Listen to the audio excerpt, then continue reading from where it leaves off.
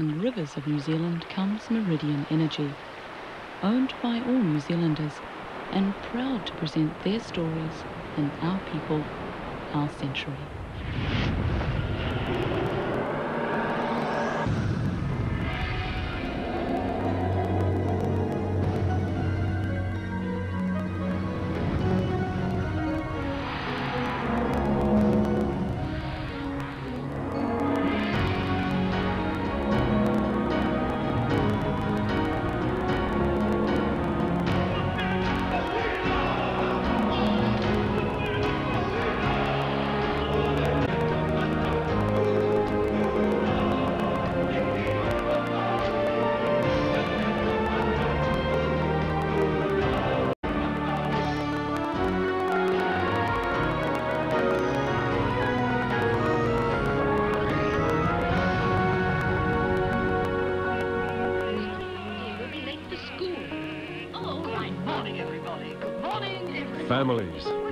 Blocks of the nation. They've changed dramatically over the last hundred years.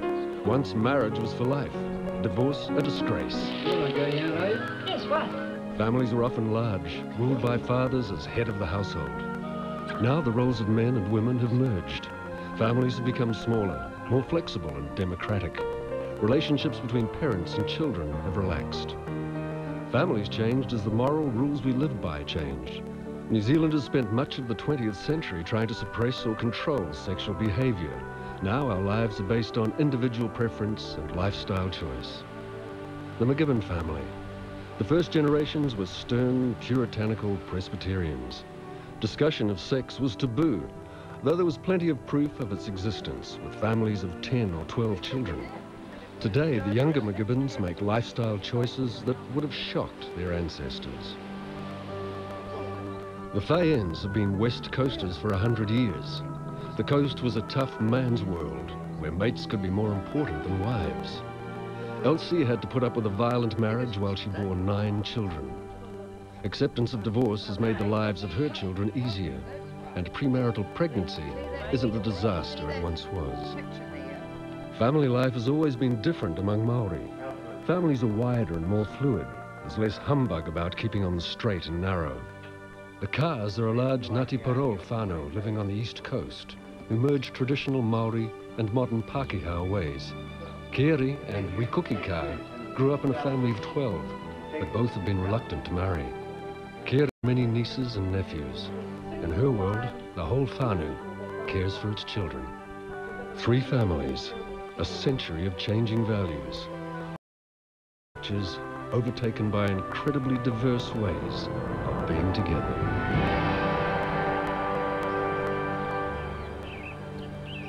Rangitukia, just south of East Cape, is the heartland of the Ka Hapu of Ngati Porou.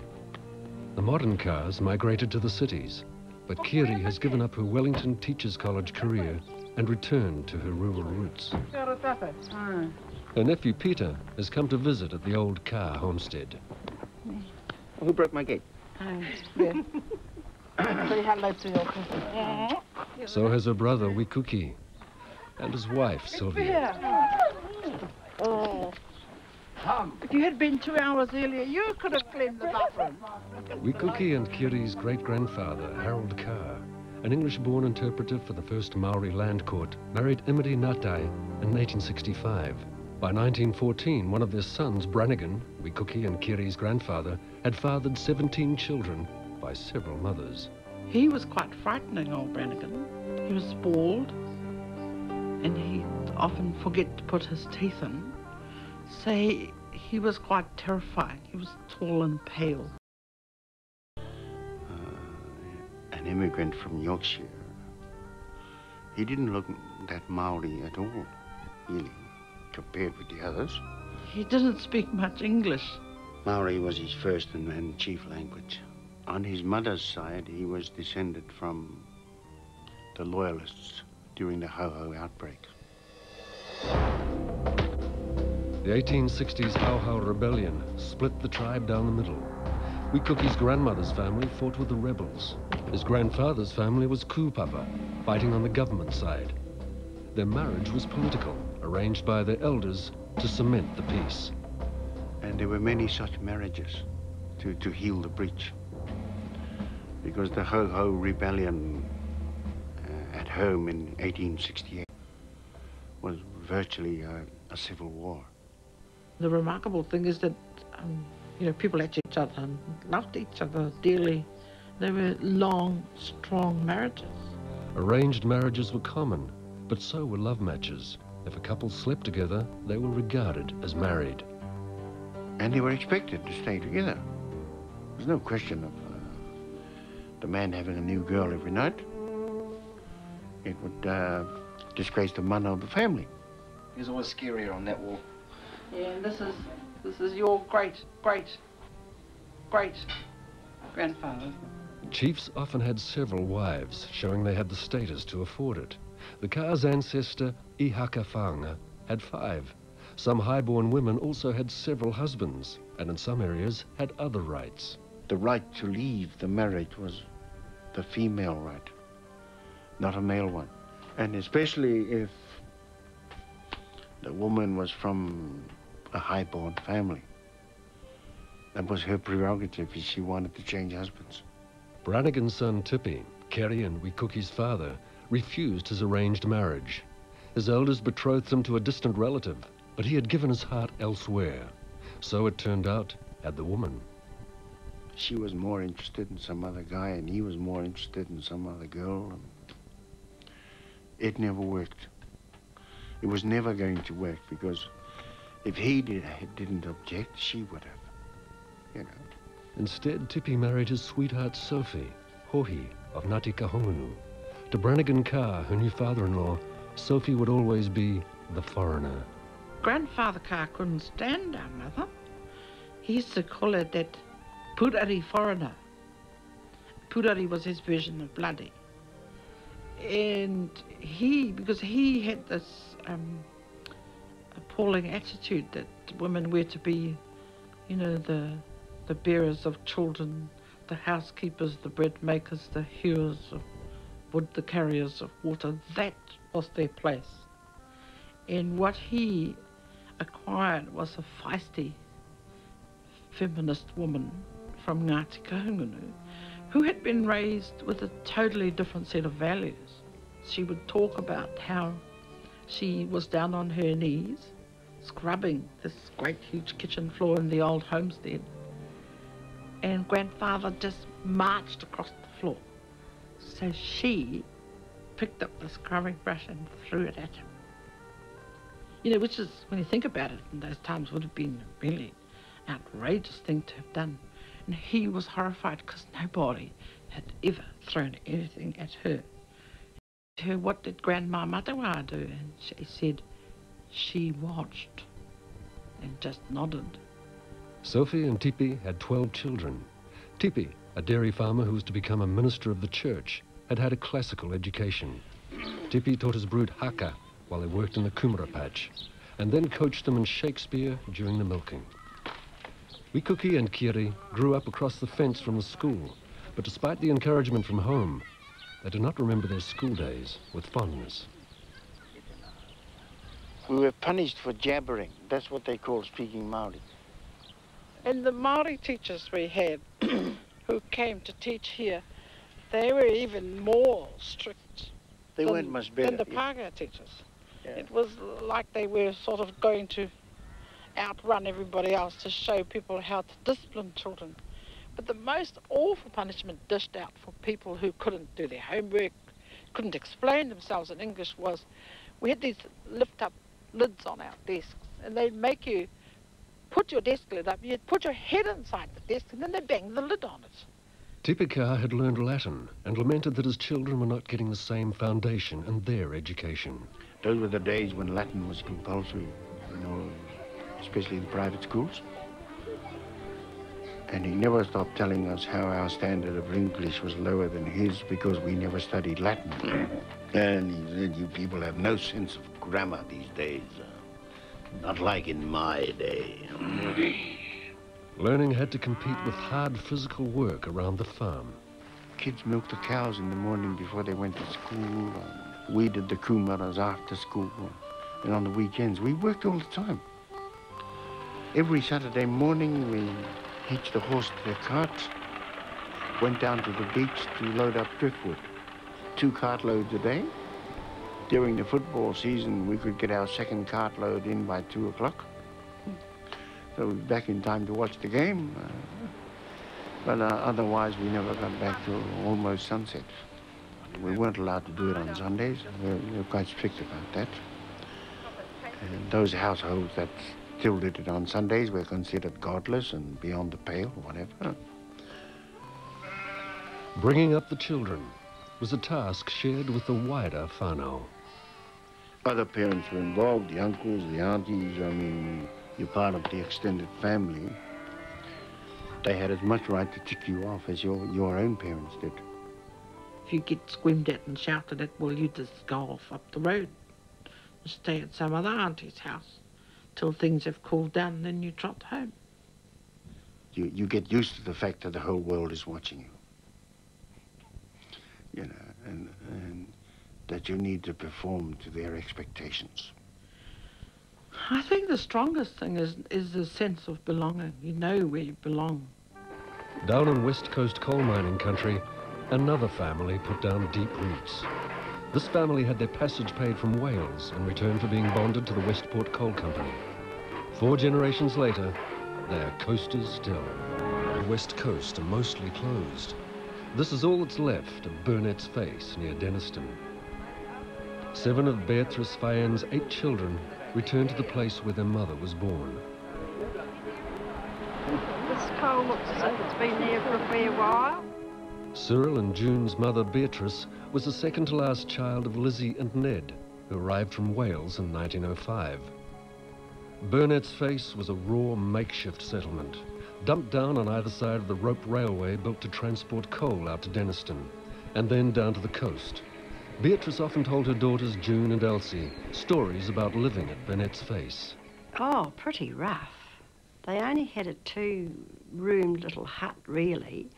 They had to carry water from the creek. It would have been the girls' jobs to carry all the water. Imagine. For washing, the toilets, cooking, all carted up by buckets. Imagine trying to get the, the, coal trucks whizzing past, up and down, all particular about their washing in those days. All their frilly lacy underdrawers and petticoats and hair ribbons and all that. Oh, it must have been terrible. But I mean, they were living right beside the railway tracks, and there was nowhere for the children to play. I can imagine the horror it must have been for her, knowing her little girls were running, roaming around the railway tracks. One of those little girls was Elsie's mother, Beatrice. Beat, as she was known, was one of nine children. She grew up to have eight of her own. Large families were the norm, especially if you were working class. Only middle-class people could afford the potions and rubber condoms on sale at chemist shops. For working people, contraception was a makeshift, homemade affair this 84 year old lady, dear lady, and I was talking to her about what happened, you know, and she said, of course, you know, June, there was no contraceptives in those days. And she said, we used a silk hanky. And I thought, well, you know, when I told my girls, well, they, oh, Mum, how could you? Don't be crazy. But yes, yes, that was that was about it. Beat grew up on the coast and married a coaster, Sonny Fayen, a returned soldier. Sonny got a job with the railways. He was a great family man and would often go to sleep with the latest baby across his chest. Baby slept in bed with mum and dad. There was no cot.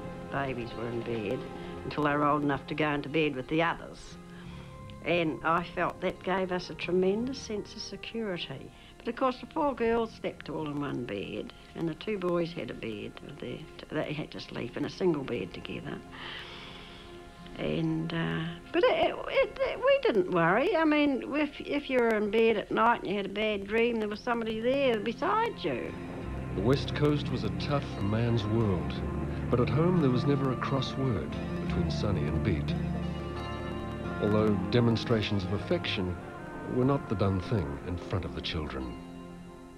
Well, I can remember when Dad was going off to hospital or something one day, and he and he came and gave Mum a kiss on the cheek, and Iris and I, Mum, that's the second time we've seen Dad kiss you. You know, it was oh a big thing. In the Depression years of the 1930s, the Fyans moved to different parts of the country so that Sonny could get work. Everyone in the family had to do their bit to put food on the table. That was growing. And the boys used to go caddying at the golf course, and they'd get paid a shilling a day or something like that. And Mum would be waiting at the gate for the shilling when they come home. They, she'd hand it over. Well, it was needed. All but one of the Fyan kids left school at 11 or 12 to start their working lives. Children had to grow up fast. June and her sisters had little preparation for the more intimate aspects of boy-girl relations. We just didn't know anything about it, and um, all my mother said to me once, you know, she said, "Oh, men don't like second-hand goods." That was my sex education, you see.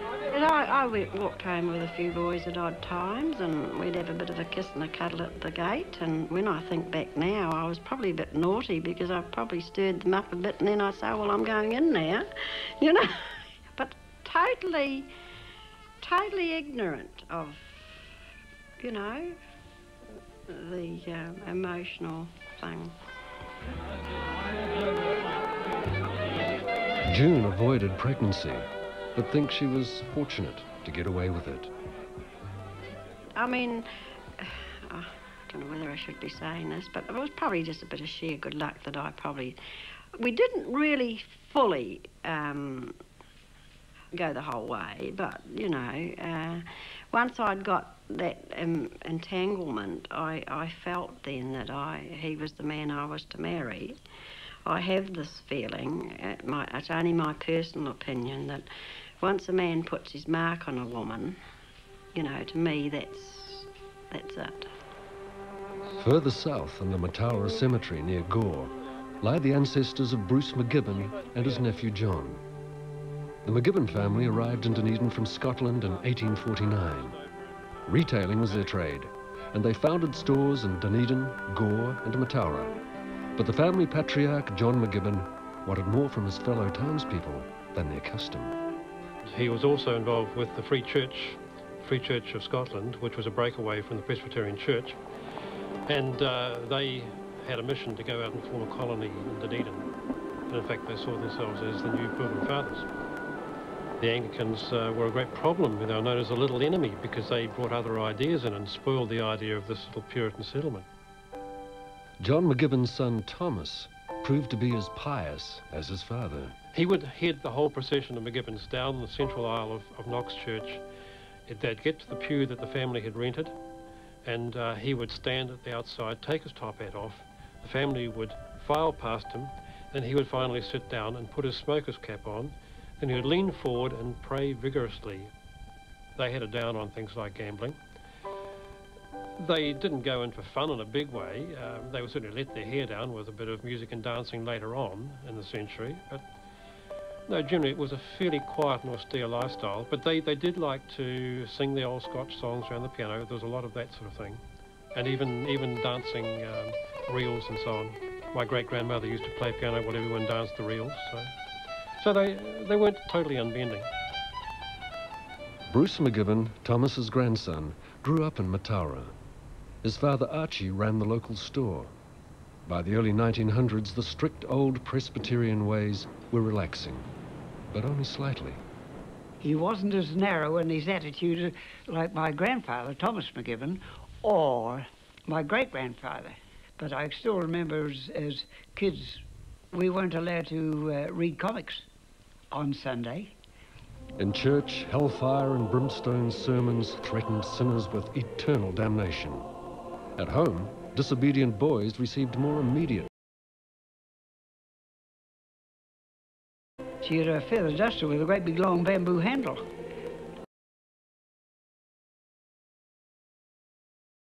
Hiding, and if we got up to something she couldn't solve, Dad took us in into the boys' room. He gave us a hurry up, and that's when the uh, the old uh, strop, the leather strop, for the cut-throat razor when they used to sharpen it. But we, when we knew we were going to get a hiding, we put the school journals down our trousers. he cottoned onto that after a while. We had to drop our tweeds and we got it around the bare backside. but it never did you any harm. I, I'm rather amused at the attitude of the people today on, on that attitude. It never did us any harm. I think it builds your character. And you know right from wrong. Pubs were definitely on the wrong side of the ledger. Early century prohibition, the movement to abolish the liquor trade, was strongest in Southland and Otago. The alliance of feminists and the churches had won voting rights for women. Now they also tried to rid New Zealand of the demon drink. At a very young age, Bruce signed a pledge that he would never let alcohol pass his lips. I've signed on in, as a member of the Band of Hope and signed the pledge. How old? Oh, probably about eight. Very much.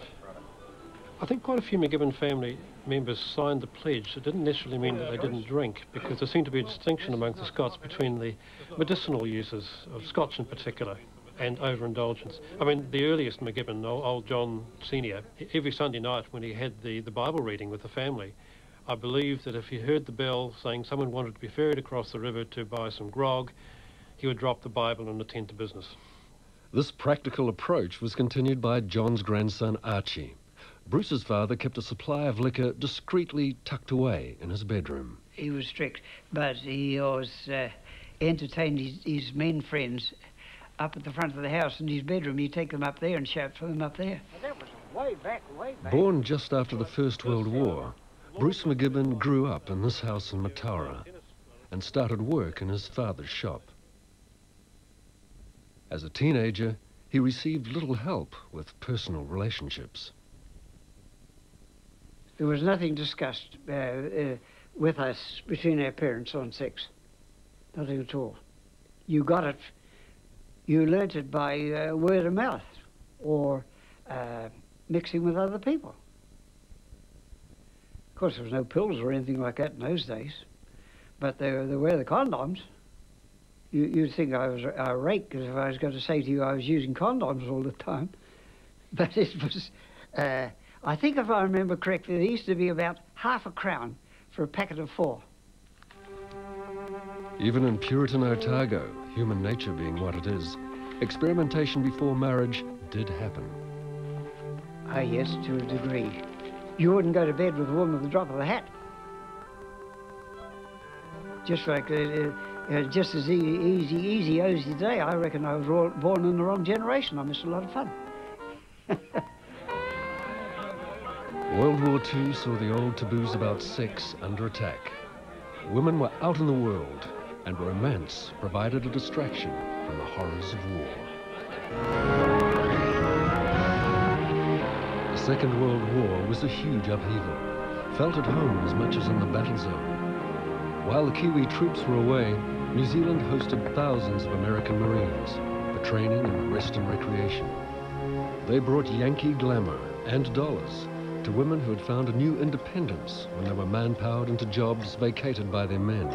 The nightlife blossomed.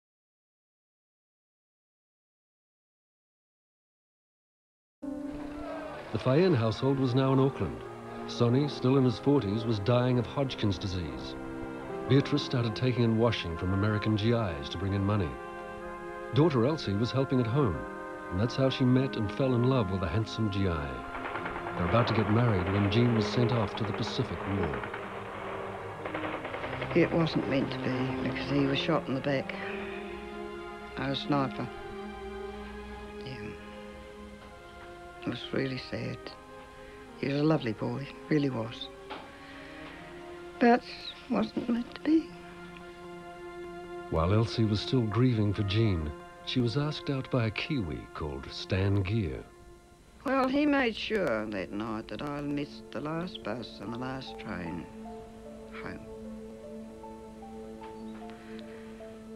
Don't worry, said, I'll take you round to my, where I live at my Aunt Lil. She won't mind. She'll give you a bed for the night. Yeah, she wasn't even there.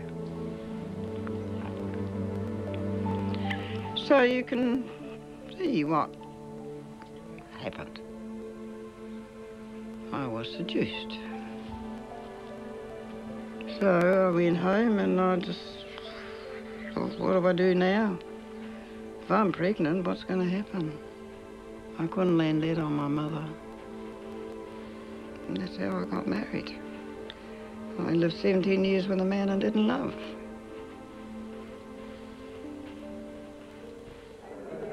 Elsie and Stan moved back to the west coast. Here life was very different and rules were made to be broken. Publicans simply ignored the law that closed pubs at six o'clock. The prohibitionists had complained that men would spend their wages in bars and neglect their families. And so it was in the case of Stan. And he spent all his nights at the pub. Never come home until the pub shut and he was all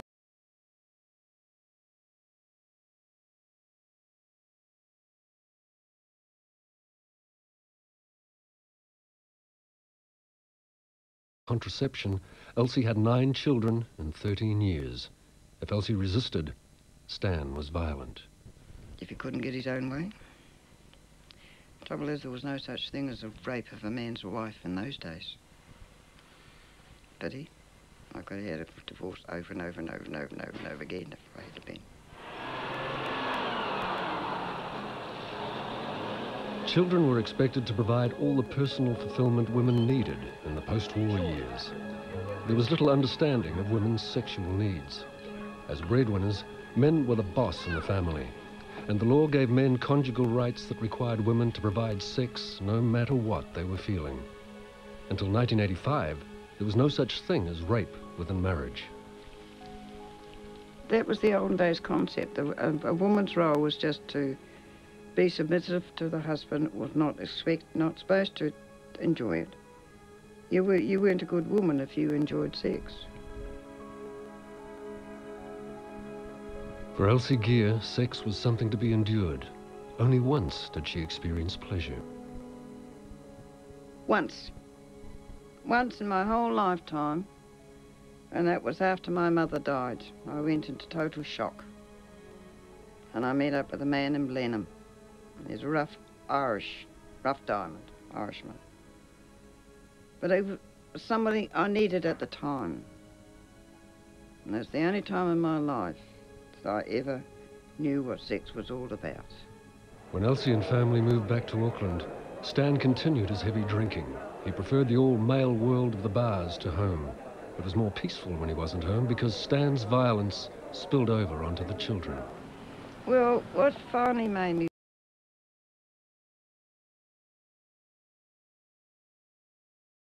didn't get to the hotels as frequently, wasn't coming home.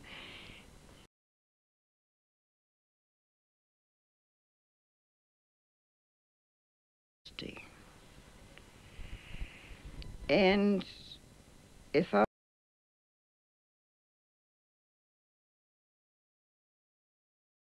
forcibly, and I got just couldn't handle too much more. He came home one Father's Day. He walked into the lounge, and nobody took any notice of him. Ah, great Father's Day it is, isn't it? Sandra turned around looked at him. She said, Well, you're not much of a father anyway, are you, Dad? Well, he just grabbed her and he started punching her. Even though I was his pet, I had to. He was the one that he picked on. I was the one he picked on when he'd come home drunk. Yeah. And I went and grabbed him by the hair and I tried to pull him off her. He said, The more, he looked up, he said, The more you hurt me, the more I'll hurt you. And I had to let him go. And he started punching me and he wouldn't stop. Of course, when Mum come in, she got on the back of him and, and he just said, the, the more you, you hit me and hurt me, the more I'll hurt her. For Elsie, it was the finish. She packed up her children and returned to the west coast. And off we went. Me, nine kids, two suitcases, and a vacuum cleaner. Why the vacuum cleaner? I don't know why, really. Only because it was the last new thing I ever bought, and I had to walk out and leave everything else. So I took the vacuum cleaner.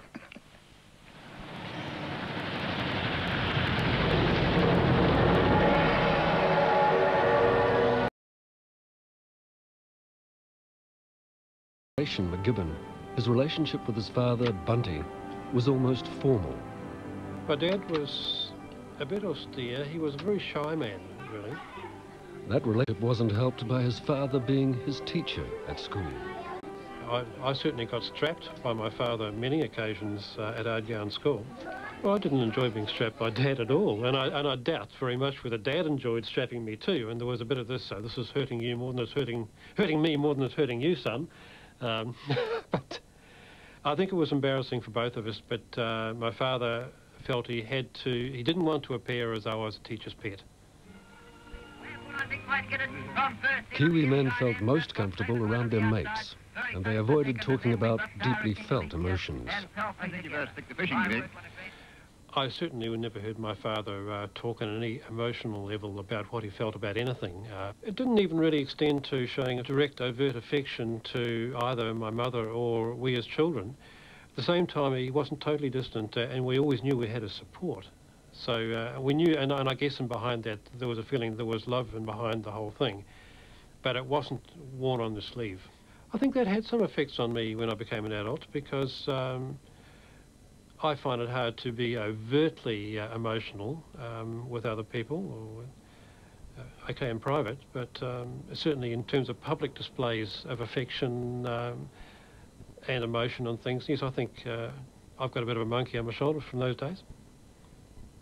As far as family planning uh, and my parents was concerned, I, I, it was something that was never discussed. However, I know that they used condoms because every so often we children would would uh, be, would crawl under the bed and find these used condoms and wonder what the hell they were. So, which caused great embarrassment to our parents. So, uh, so I happen to know that they used condoms. In the mid 1960s, jazz was the cool thing to do. John was at varsity in provincial Palmerston North and playing in a jazz band when he met Liz. When I first saw her, I thought she was a mighty fine-looking woman, and um, and I liked the look of her. Uh, I got to talk to her and uh, found we got on very well. We were always very comfortable wasn't very long before we found that there was a physical attraction as well. I very much intended to get married and have children. In fact, it was my ambition. And probably I was at university to um, get a more interesting sort of bloke. Uh, unfortunately, there, there, was averse to it, to be honest. Um, but it, it, was marriage or nothing. And particularly her parents would never have tolerated um, a situation where we lived together at all. I mean, they had no idea what we were getting up to anyway, I don't think. And uh, in fact, it could have been quite dangerous if her father had found out. In the late 1960s, a tidal wave of social change began to sweep through the Western world. Every dearly held social value was up for scrutiny. Make love, not war, was the slogan of a generation, and the pill made it possible The first time women could have sex without fear. Liz and John were already married when the free love revolution arrived, and they were ready to try the new form of contraception. The medical profession was not so welcoming. I'd certainly discussed the pill with the doctor, and this doctor was not a Catholic, but he got very harumphy about it and felt even then that it was the husband's business to look after the wife and any children that may have come along. The pill revolutionized people's lives. I think it probably revolutionized the lives of an awful lot of men. The expectation previously was that you asked, the woman probably said no, um, and that was pretty much the way things were. They understood that women were terrified of pregnancy once women no longer had to be terrified of pregnancy, um, then they rather wondered what on earth they were making a fuss about if they said no. Although sex between men and women became easier, men found it harder to accept other changes to their domestic roles. I guess in those early days I was a pretty unliberated male. Looking back on it, probably still am to some extent. Uh, you can't shake these things off entirely. But um, No, Liz was the one who was home and she would have done most of the housework. I ever cleaned the loo. Many men found adjusting to feminism difficult, but not Wi Kuki Kaa. He was comfortable going with the flow. You had to watch how you talked, for one thing. It's like it's just really no different from uh, your partner being converted to a different church. You suddenly, maybe you can't swear anymore.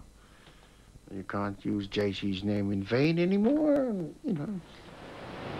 At the end of the swinging 60s, Wi Kuki Kaa was in Sydney, acting in TV cop shows by day and hanging loose by night. Marijuana was the drug of the times. We were constantly busted by the cops. Uh, we used to grow that stuff in our garden. The grass. Quite uh, blatantly. To extract the juice, put it in an electric frying pan to dehydrate it so you got something like a hash. All great stuff. And we put that in our uh, pepper grinder. Sprinkle it on our salads. You know, wonderful. Drugs were the element of the hippie lifestyle that shocked conventional society. But hippie values went much deeper. The hippies sought a simpler way of life, rejecting the traditional family in favor of communal living. Their so-called counterculture had much in common with the Maori way of life. When I drifted into the flower power scene, and then later what they called counterculture, I found that highly offensive because I always felt they were talking about my culture. We don't call it a counterculture. This tradition of sharing and, you know, uh, being. Uh, Now, hua manu is the PC Maori for eggs, but there's a transliteration for eggs. The Wi Kuki's sister Keri, who had watched her mother exhaust herself raising 12 children, feminism meant she could choose a career in teaching, and boyfriends her mother didn't approve of. Don't come home with a bugger and don't come home with a cat. And one summer I came home with a failed priest. but for me, a permanent relationship was never an option. Because I wanted to do other things. I wanted the freedom to choose to write, um, to join committees, and because the feminist movement was sweeping through, you didn't necessarily have to be part of a relationship to be of worth. That's always been at the back of my mind. I wanted to be free to do other things. If you want to be really PC and use posh Māori, have hua rākau. Coast, Elsie Fayen and her nine children were struggling with poverty and prejudice. It began in this house, several miles outside Westport. In 1960, Elsie was 35, and there was no domestic purposes benefit, only the family benefit to feed and clothe nine children. She took out a maintenance order against Stan, but his checks didn't always arrive. I always made sure I had plenty of flour, baking powder, golden syrup and tomato sauce in the cupboards. And if the check didn't arrive by lunchtime Friday, out would come the flour. Whip up a big batch of fried scones, which luckily the my kids all liked. So it was either fried scones with golden syrup or fried scones with tomato sauce. My poor old mother, she'd get bills. We had to go down to the shop and get get the bread and bits and pieces from Pat O'Day's shop. He'd give me a bill and I'd take it home and my mum would put it straight in the fire. The boys used to go to bed fully clothed. Because as they took them off, they may not find them next morning. Somebody else might have took them off. See? First up, best dressed. Yeah, my big wedding day. Mm, Biggest mistake of my life. As a teenager, Sandra's sister Lynn blamed her mother for having to go without. I can remember in, in later years having a lot of conflict because we would ask for money to go to the movies or to go to the swimming bars, etc. And she just didn't have the money to give us. But we didn't understand, of course, that she didn't have the money to give. And we would become, I, I mean, I myself would be very, very angry with her. I'm dyslexic, and I think a lot of that was because of of the fighting and the things that happened around me. And see, Mum didn't really have a lot of time to spend with us older older ones because she had so many other little ones to to look after as well and and I just found that we just sort of come along rolled along through life and I felt as if I'd been left out you know quite a lot of places in my life yeah It wasn't on to be a solo parent in those days. You were really, really looked down on. And it even branched onto my children. A lot of the neighbourhood's children were not allowed to play with those gear kids. even now, you know, we can be out and about somewhere and somebody will say, oh, you're not a part of that gear family, are you? Yeah. Uh, we were known as the poor, the gears, the poor people. Elsie could not talk easily to her daughters about intimate matters.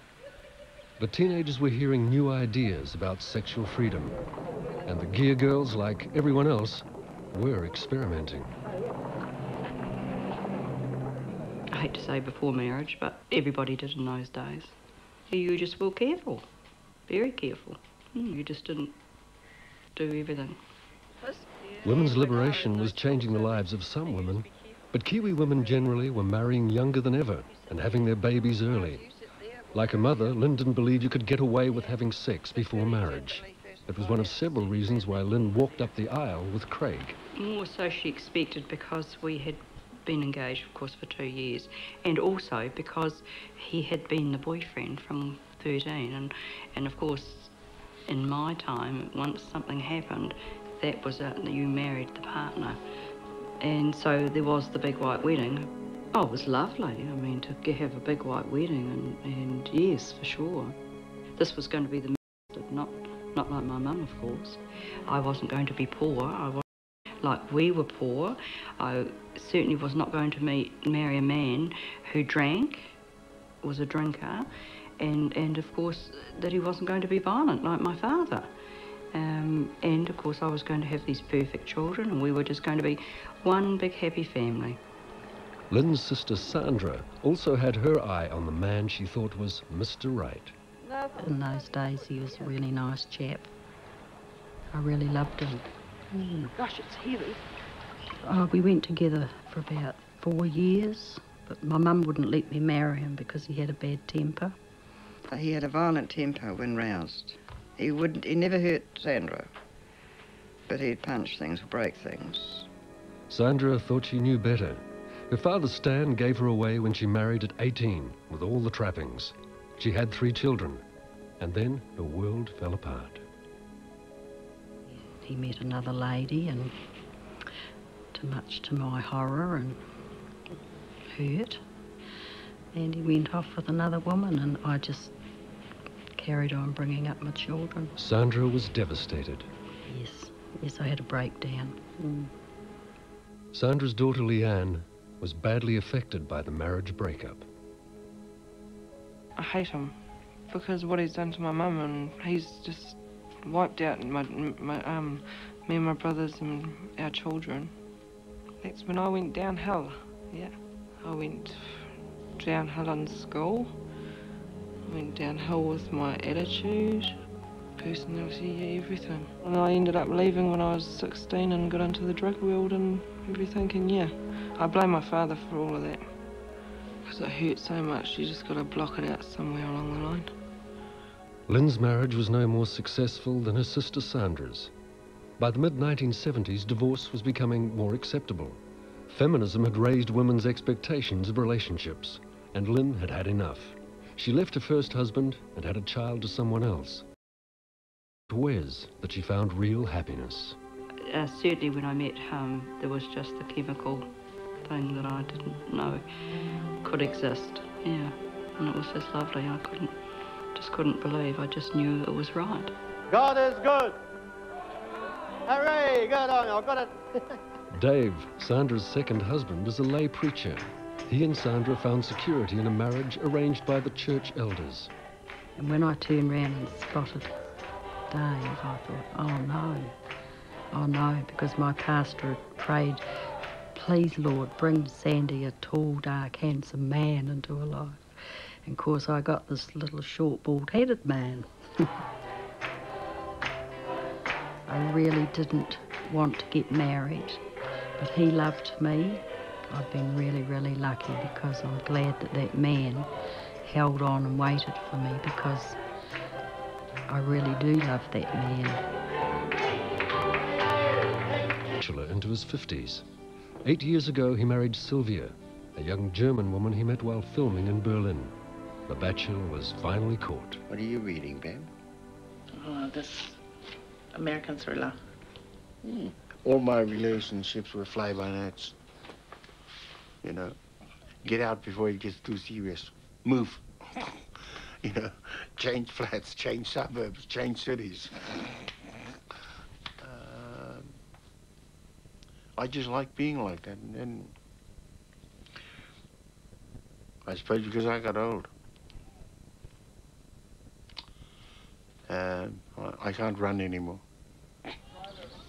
Rangitukia Hill was the place Wi and Keri Kaa returned to for renewal.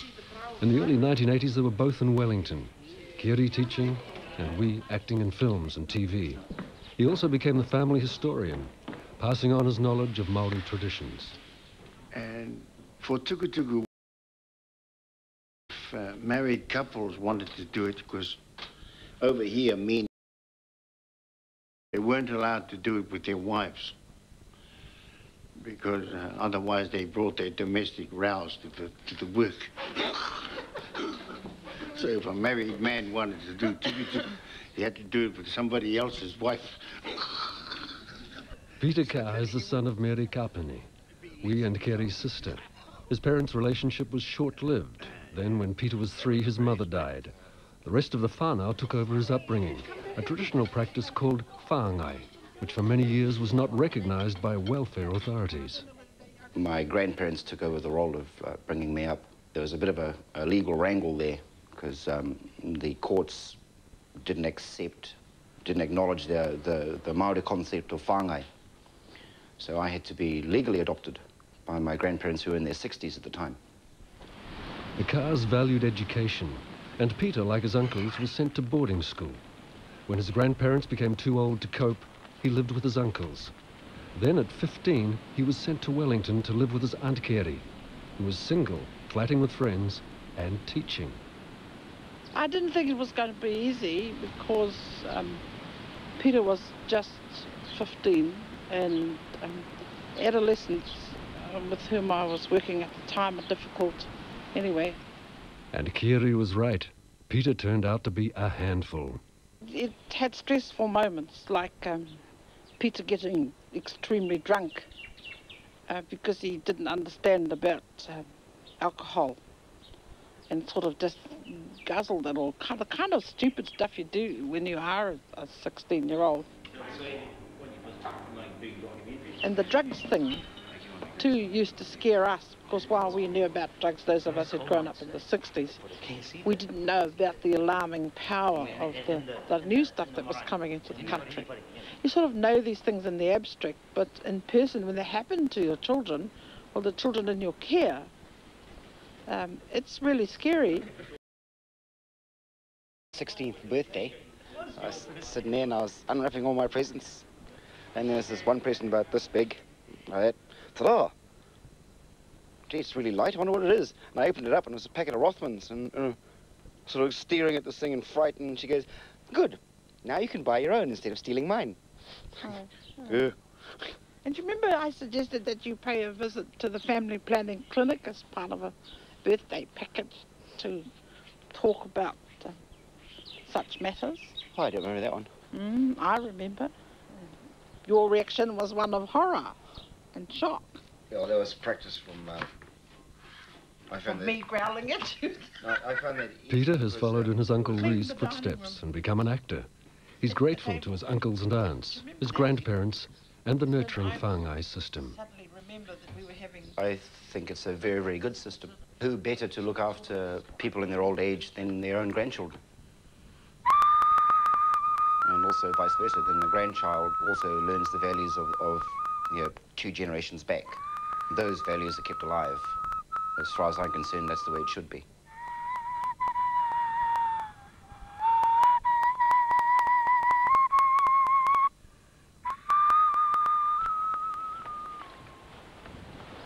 Keri also wants to keep the old values alive in her own way. She's given up her career and returned to live in the Kaa family home at Rangitukia. Oh, oh, that's looking great. I just came home because I knew that this old house needed someone to care for it and look after it, and needed one of us living in here. And also because of the principle of te ahi ka, where you keep the home fires burning. Because it's no use standing in the halls of academia lecturing to hundreds of earnest students of Māoritanga about the principle of ahi ka, which is to have one of your family actually living on the land and keeping the home fires. Gone out, the flame had almost gone out. Are both in the cemetery, the family cemetery. Good old Brent told us to come home. Well, kua tai mai, ne? Mm. Te rena tana moi moi a. I couldn't see myself retiring in the city because for me there would be no focus uh, in a city. Here in Rangitukia, the focus is on the marae, the church and the families around.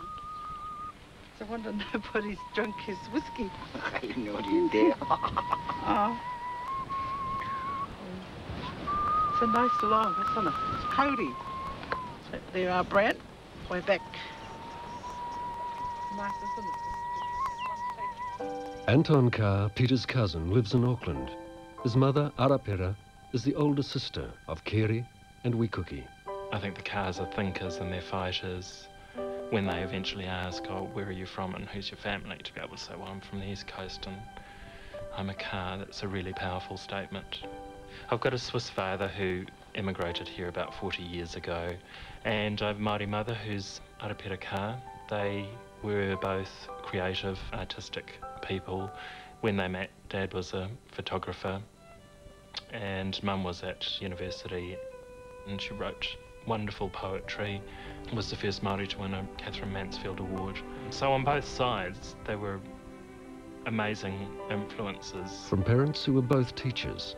Although Rangitukia on the east coast is Anton's spiritual home, he grew up in Northland and Auckland.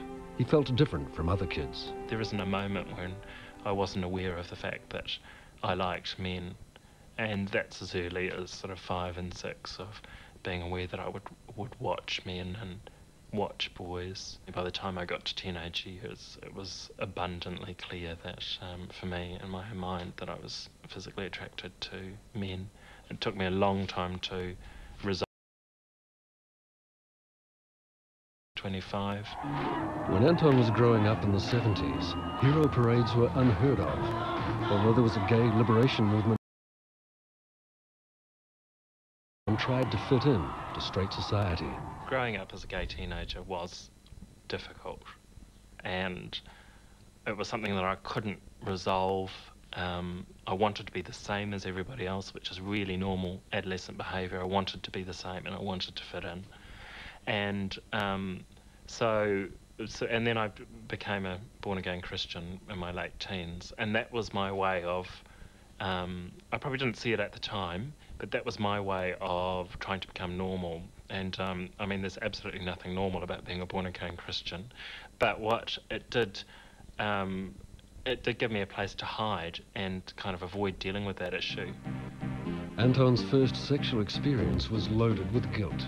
His second was much more positive and sealed his future. Like I had been told for ages that, you know, being gay is unnatural. And I remember that, you know, after this sort of meeting this man and sort of heading off afterwards, just feeling quite sort of euphoric that it was the most natural thing I'd ever done. You know, that no matter what people told me, I know what I felt with that. I just had to tell Mum, and it took me about six weeks to build up the courage. Her response was initially um, very good, so she did all the compassionate Māori things, um, and sort of, you know, cried with me and sort of made me feel good. But uh, shortly after that, it became more difficult for Mum, and I remember one very emotional scene where she it sort of burst into tears and sort of said that she had tried to deal with it but she couldn't. And why did I give in? And it's just not right and all this sort of thing which was really amazing because mum was this liberal thinking woman who had taught with Dyke family. There was enormous amount of grief and a lot of that grief was over the fact that it was highly unlikely that I would procreate. And that's another thing I discovered is that you know the most important thing you can give the whānau is the mokopuna, and um, they get very excited about that. And the thought of, um, you, you know, me not procreating was just devastating for mum. But it was a real learning curve for me in terms of being Māori, and I think it's a very different dynamic um, if you're gay and Māori because there is that whole sense of there's a whole whānau that you take with you. In the 1990s, being gay is far more accepted, gay couples even feature in television ads. Although for Anton, the single life holds more attraction. Being single is definitely an option nowadays, and I, I enjoy it.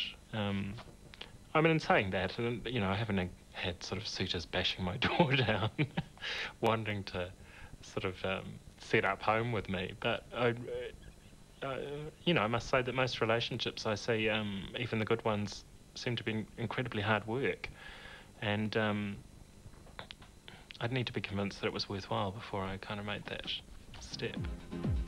Changed sexual attitudes had also overtaken the McGibbon family. John and Liz have accepted behaviour from their children that would have brought down the wrath of their own parents. John and Liz McGibbon have relaxed, close relationships with their three sons and daughter, Suzanne. She's um, a very good friend of mine. Yeah. I would, I would tell my mum more than I would probably tell um, my best friend. Well, I guess my mum is my best friend. I probably, I speak to her, um, go to her for advice, just enjoy talking to her. I guess in general we were pretty laid back with the kids. I mean, I think we trusted them to a fair degree and trusted that they had a fair amount of common sense and uh, we knew that if we started to push them in, ways too hard, they would probably rebel and be far worse than they ever appeared to be anyways. The leather strap was banished in the McGibbon household. Go to your room. yeah, that was generally it. There may have been, um, you know, go to your room without your dinner would be the most vicious, but yeah, no, no, no hardcore smacking or anything like that. We certainly didn't belong to the never smack a child we use time out, I suppose, to a certain extent. Please go and stay out of my sight for a little while till I've got control of myself. I didn't have curfews. I didn't have, um, you know, parents constantly asking where I've been going, what I've been doing. I guess I was determined not to forever hound them and, and hover over them as I felt that I had been. My mother gave me a book on a book on you know, you know puberty, um, female puberty. And I, I, I mean, I can remember my dad saying things like, oh, you know, when you're, you're a child, you go, oh, sex, yucky. Your dad would say something like, oh, you might enjoy it one day. Or, you know, he'd, he'd say something really flippant like that so that it wasn't a secret, it wasn't, you know, don't talk about that kind of thing. He'd just say a flippant comment that, that fitted in but didn't lead to anything, didn't stop there either. Um, yeah. So it was just open. Dad gave me the conversation about keeping myself safe on a number of occasions. Obviously, Dad didn't want to be a grandfather before time. But at one stage, when, when it looked like she was in a very serious relationship with a boy, in fact, I did actually hand her some condoms. I said, if you are going to do it, make sure you're protected. and I um, quickly grabbed them and threw them in my drawer and pretended he hadn't done it, and then took them out later. And I felt a little, little bit funny about uh, doing it, but no, I had no great problems at all. I mean, by that stage, uh, the condom culture was, was in. Um, it was acceptable to talk about condoms, and uh, probably wasn't all that usual for fathers to give them to daughters, but I thought it seemed to be the reasonable thing to do at the time. Rather have a bit of embarrassment than have her pregnant. By the 1980s, parental control of teenage behaviour was being challenged by peer pressure there would be more pressure to probably would have been to get roaring drunk. The two often went together, um, you know, at parties and things, but yeah. The pressure was definitely from, you know, from girls, yeah.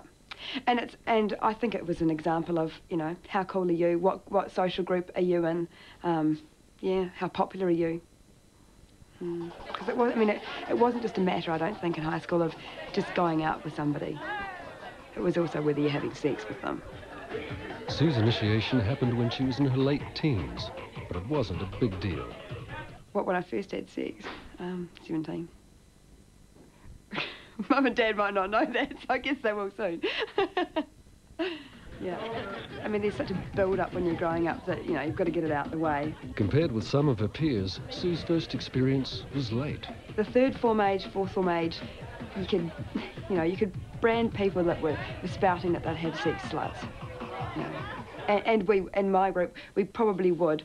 Um, because we'd be interested in it, but not quite emotionally ready to um, do it. So we probably would consider people that were, you know, doing it. Um, but more, more, more than doing it, open about it, um, sluts, yeah. But then you sort of hit the sixth form age, and it all of a sudden changes. You know, you're not a slut anymore. You're actually quite cool. The Gears had experienced mixed success at marriage, but even so, it remained a goal handed down through the generations. Lynn taught Lisa, the daughter she had with her first husband, Craig, the traditional customs of marriage. My mum sort of inbred into us girls that you had to have a glory box for when you get married, so that you've got lots of nice goodies. And um, I can remember at the age of 10 getting a kitchen whiz for my birthday, thinking, shit, what is this? All my friends are getting clothes and makeup and things like that. And I got a kitchen whiz and an egg beater to put in my glory box. Lisa joined the Navy as a nurse, had a wonderful time on her OE, and then she met Andrew. Well, I reckon she seduced me. He, he probably says I seduced him, but he seduced me. When Lisa walked down the aisle, she did it her way, by having two escorts. She had good relationships with both Craig, her natural father, and Wes, her stepfather. Oh, I thought they could both give me away, and that was really special.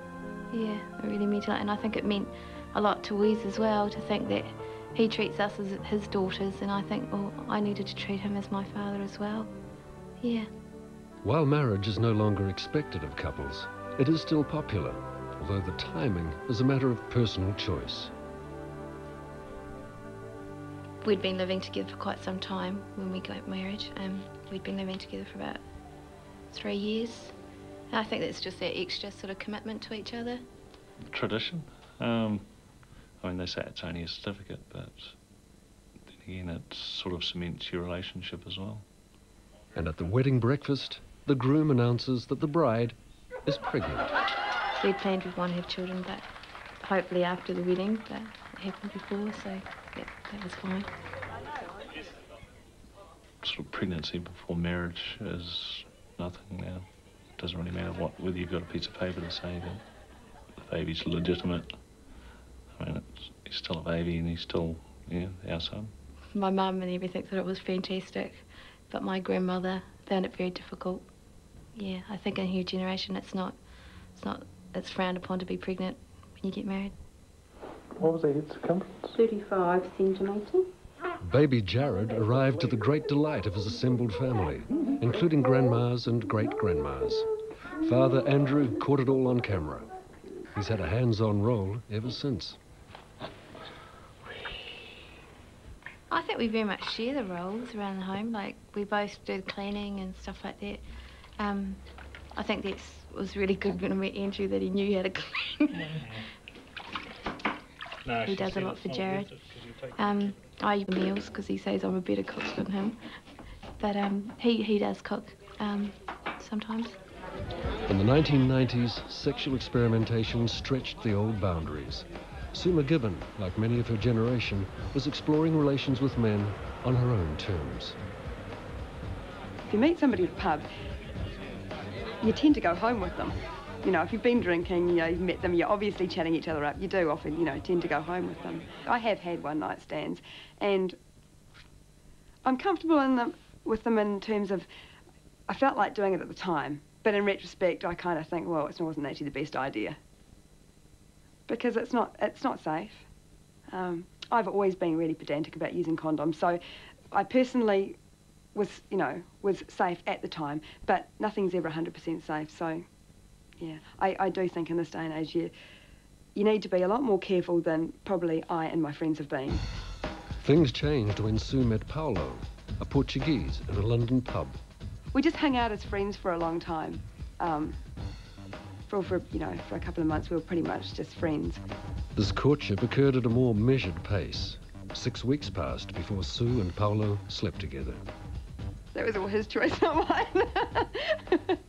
he couldn't, he claims he couldn't read me. I mean, it ended up being an ongoing joke with my flatmate and I. You know, every time I came home, she'd ask for the lowdown, and I'd go, well, there's no lowdown to give you.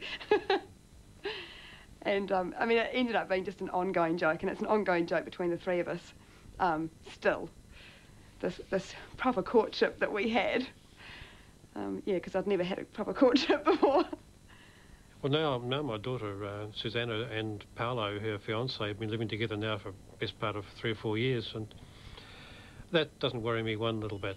I think that I would prefer that they not live together first. Certainly, John seems to think that, you know, a bit of a trial is, is a good idea to see if, if you get on well. It wasn't particularly my opinion, and I made my opinion known, but that was her choice, and I certainly wasn't um, going to come overall moral about it. Sue's great aunt is not so accepting of the values of the younger generation. You make your rely on it. And if they think they get something out of it, that's over to them. But it's, uh, it's in some ways, it's a tragedy.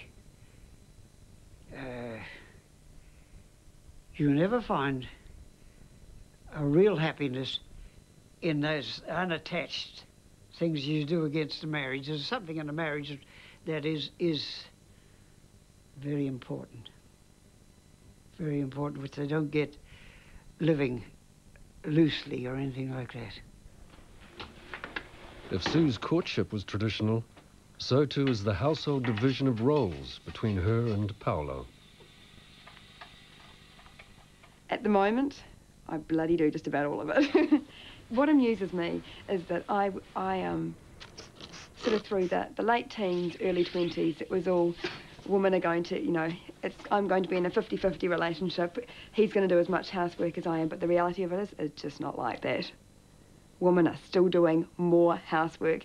They're still, still doing, still doing all of the jobs that the little elves go and do, you know?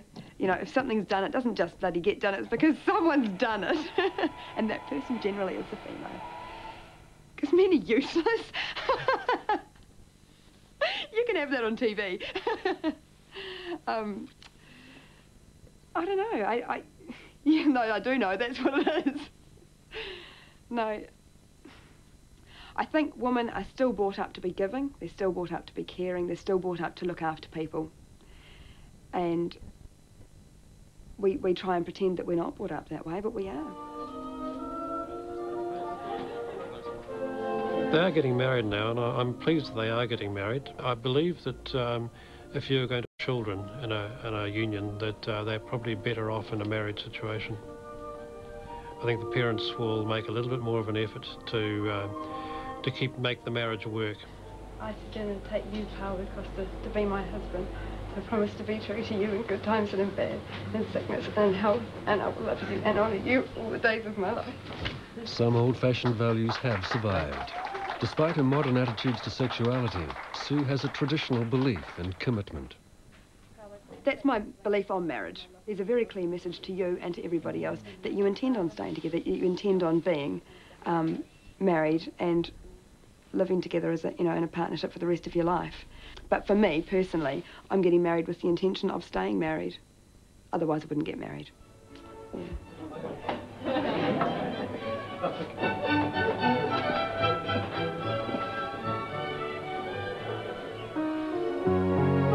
New Zealand families have changed dramatically over the last hundred years.